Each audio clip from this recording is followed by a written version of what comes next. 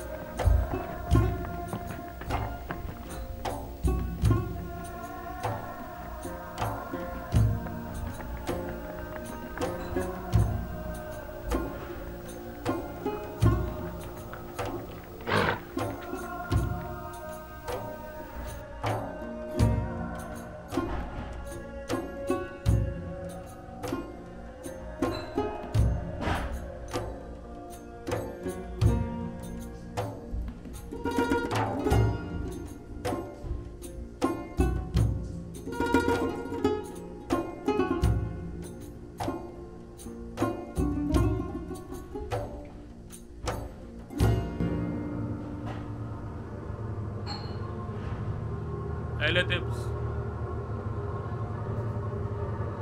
बीस पैमाने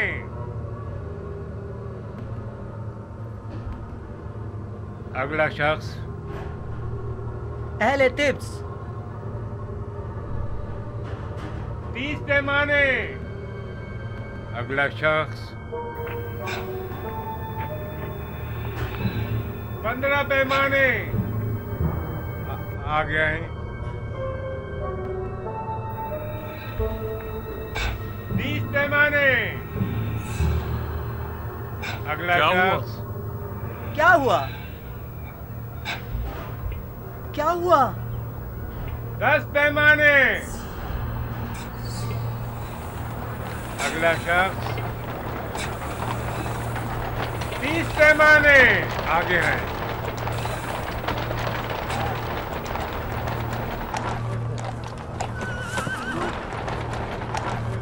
पंद्रह।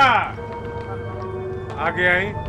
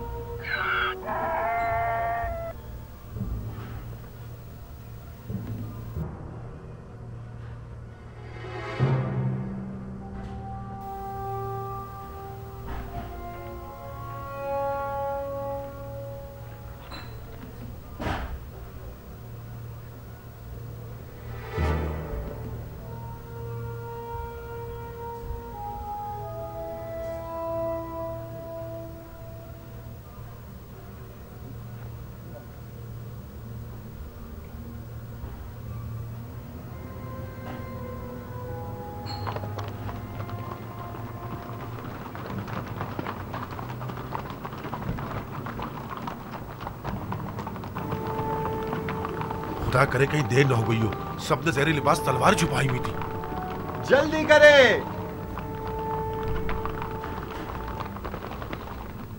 हैरान क्यों हैं? हम भी दूसरों की तरह गंदुम लेने के लिए आए हैं। क्या इससे पहले मोहब्बत ने कभी आपसे गंदुम नहीं ली? अगला शख्स। तीस पैमाने। अगला शख्स। पचास पैमाने।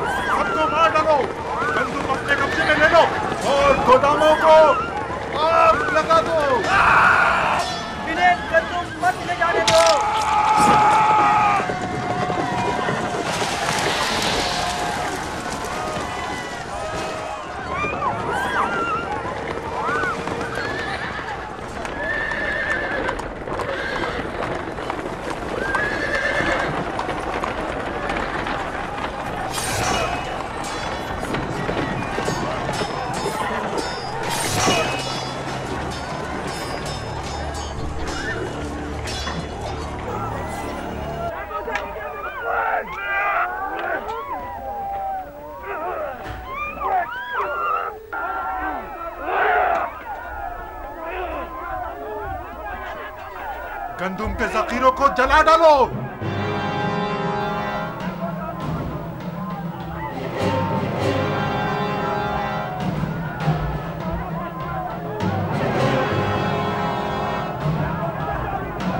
जनाब यूसुफ आ गए जनाब यूसुफ आ गए यूसुफ चलो जल्दी करो यात्री आ गए जनाब युजारसिफ आ गए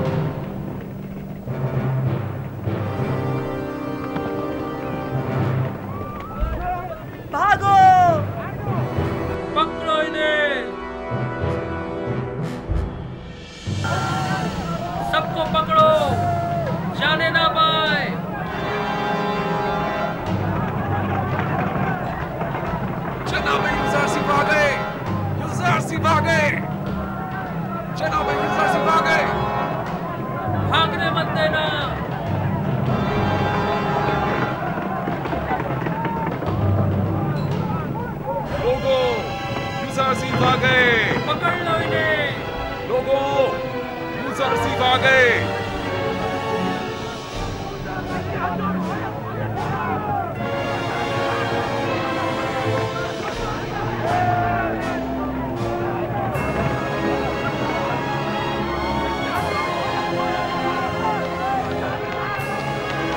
युजारसिफ आ गए। जनाब युजारसिफ आ गए।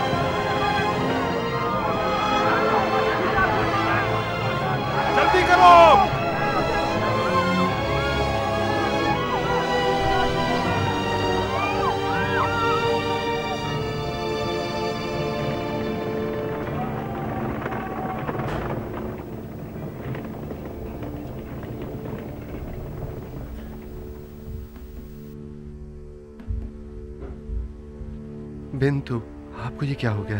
यूसुफ खुदा का शुक्र है कि नबी खुदा को कोई गुजर नहीं पहुँचा।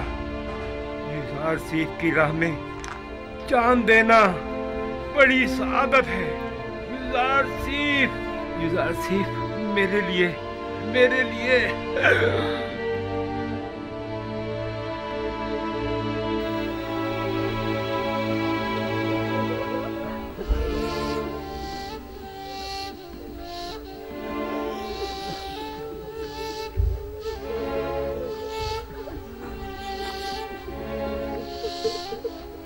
खुदावंद आपको अपनी जवार रहमत में जगा दे बिंदु।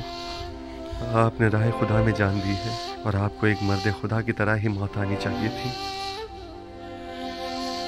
इन्हें अपने साथ ले जाएँ।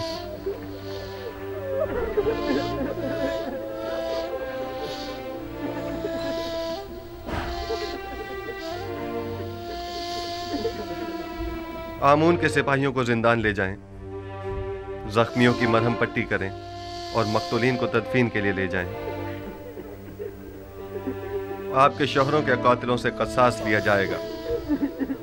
इनका खून बहा इन्हें अपने खून से अदा करना होगा। चलें।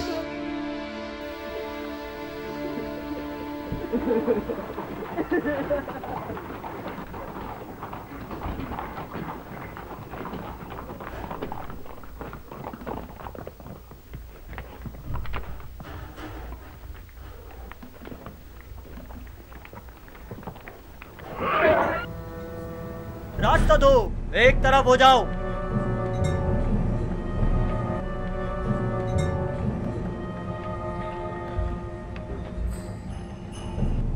आगे आए आगे आए, जल्दी करें। आगे आए आगे आए।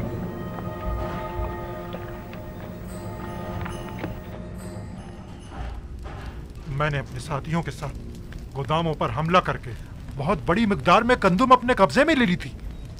लेकिन एन मौके पर युजारसी पहुँच गया और तमाम काया पलट गई। हमारे कुछ साथी मारे गए और कुछ जख्मी हो गए। मुझे भी कई जख्म आए लिहाजा हमें मजबूरन पीछे हटना पड़ा।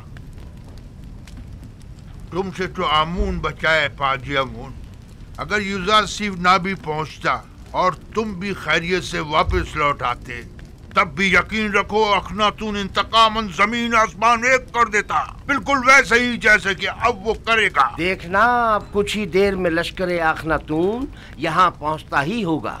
अब क्या करना चाहिए? हमारी इन हिमाकतों का खमियाजा अब कैसे भुगतेंगे? हमें सामना करना चाहिए। आमून की ताकत भी कम नहीं। कौन सी ताकत? आमून के हामियों की ताकत। हम अगर इन्हीं लोगों को आमादा कर ले और उन्हें असला दे दें तो बाखूबी माबत का दिफा करेंगे। अगर ये लोग सिपाही नहीं हैं, थोड़ी सी शक्तियों से घबरा कर भाग खड़े होंगे।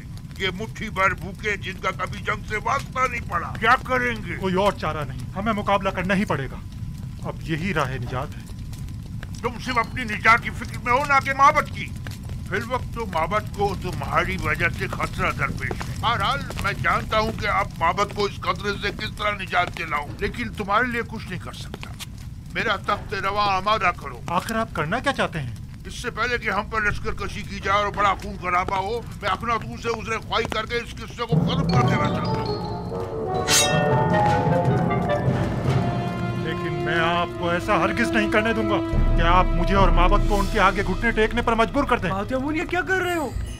आज से माबत की कयादत और उसकी हिफाजत की ज़िम्मेदारी मैं खुद संभालूँगा और आप कैद में रहेंगे। तब वक्त है कि मैं हुक्म ना दूँ।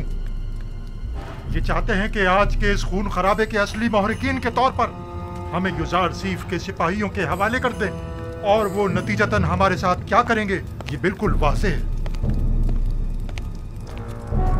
जनाब आख महू को इन्हीं के कमरे में कैद कर दिया जाए।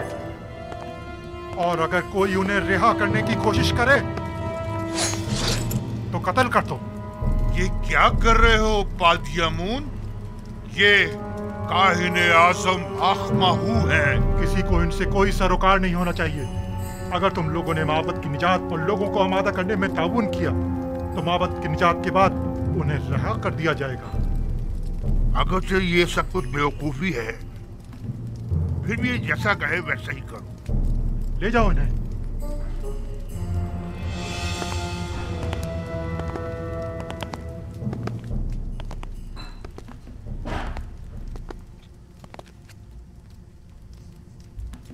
तुम लोगों ने वादा किया है कि लोगों को आमादा करने में ताउन करोगे। लिहाजा अब यहाँ किसी को भी ठहरने की हरगिज इजाज़त नहीं। ये काहिन आज़म का हुक्म है। इसके साथ ताउन करो।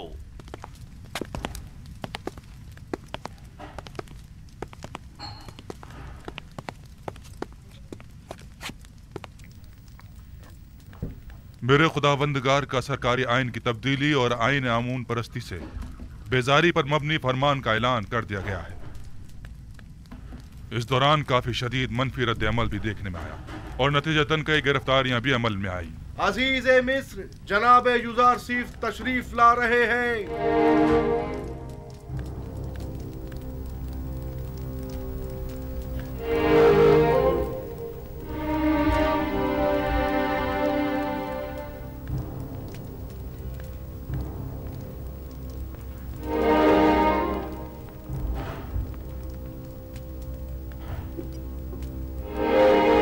क्या बात है जनाब युजारसीफ आप इतने बरहम क्यों हैं? आज लश्कर इमाबत के सिपह सालार पादियामून ने अपने चंद सिपाहियों के हमराह तिब्स के गोदामों पर हमला किया। कई अफराद को कत्ल और कई एक को जख्मी करके फरार हो गए। वो गोदामों को भी नज़र आतिश करना चाहते थे मगर हमारे बर वक्त पहुँचने पर न कर सके। आपको तो कोई जख्म नहीं लगा? जिसमानी तो कोई नहीं। अलबत्ता इस तकलीफ़ दे वाक़े ने मेरी रूह को शदीद मजरूह किया है। तो नौबत यहाँ तक आ गई है कि अब दिन दहाड़े वो हमारे सिपाहियों और गोदामों पर हमला करें। आप यकीन रखिए, जनाब फरमा इस वाक़े के सरकर्दा नासिर के साथ सख्त कार्रवाई की जाएगी। काहिना ने माबूद आमून को बगावत का मुँह तोड़ जवाब दिया जाएगा। और गौर से सुनो। मैं हुक्म देता हूँ कि माबद आमून का मुहासरा करके आमून के मुजस्मे को नाबूद कर दिया जाए और काहिनों को माबद से निकालकर माबद का दरवाज़ा मुकफ्फल कर दिया जाए। खूरेजी से हद्दुल मकदूर इज्तनाब किया जाए। और असली मुहर्रिकीन को गिरफ़्तार करके करार वाकई सजा दी जाए। इतात आल जनाब आपके हुक्म की तामील होगी। तो दोस्तों जैसा कि हमने देखा कि किस तरीके से खून खराबा बिल्कुल बढ़ चुका है। आमून के लोग जाके जानबूझ के आवाम के बीच में खून खराबा कर रहे हैं ताकि बुत परस्ती ख़त्म ना हो और यकता यकता परस्ती ना आ पाए और बुत परस्ती चलती रहे। तो ऐसा होता है जब किसी का रूल ख़त्म हो रहा होता है या उनके अपने शौक या अपना बेसिकली रूल ख़त्म हो रहा होता है तो ये प्रॉब्लम्स आती हैं। बट हमने देखा कि किस तरीके से वो खुद इतने झूठे हैं, वो किसी आवाम की नहीं मदद करते। हैं और एक जो ब्लाइंड पट्टी है, लोग लू लगा के रखते हैं अंधविश्वास के नाम पर ये वो एक सुपरस्टिशियस चीज़ है जो अभी हो रही है। और जो भी है और दूसरा लोग भटकाने में भी आ रहे हैं। तो ये दो चीज़ों से हमें हमेशा सावधान रहना चाहिए is what I want to say through तो इस एपिसोड आप लोग अपने कॉमेंट्स करके मुझे बता सकते हैं डेफिनेटली आप क्या सोचते हैं? सो मैं मिलती हूँ आपसे अगले एपिसोड में, तब तक के लिए जय हिंद, नमस्ते, सत अपना ध्यान रखिएगा। बाय